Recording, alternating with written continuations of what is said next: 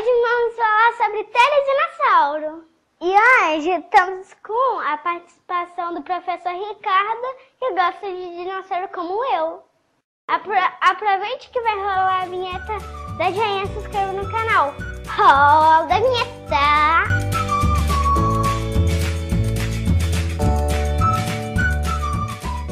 O Teledinossauro ele viveu no período Cretáceo, na atual Ásia. Os seus fósseis foram achados incompletos.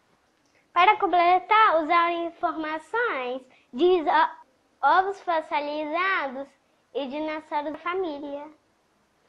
Os primeiros fósseis encontrados foi de suas garras gigantes e pensaram ser de tartaruga marinha. Seus braços podiam ter dois metros. As suas garras podiam ser usadas para se defender e tinha cerca de 80 centímetros. Elas eram como foices, por isso esse nome, Terizinosauro, ou lagarto foice. Se ele fosse encontrado hoje, iam chamar ele de Wolverinesauro, por causa das garras do Wolverine. Podiam ter 10 metros de comprimento e 5 de altura. Pesavam 5 toneladas.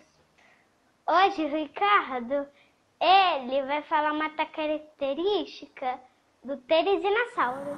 Olá, Ricardo. Oi, Felipe. Os teresinossauros pertencem a uma, um tipo de dinossauros, os terópodos, que eram carnívoros.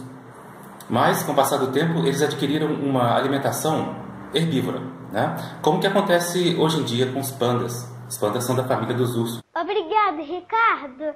Se tiver sugestões, falem sobre o comentário.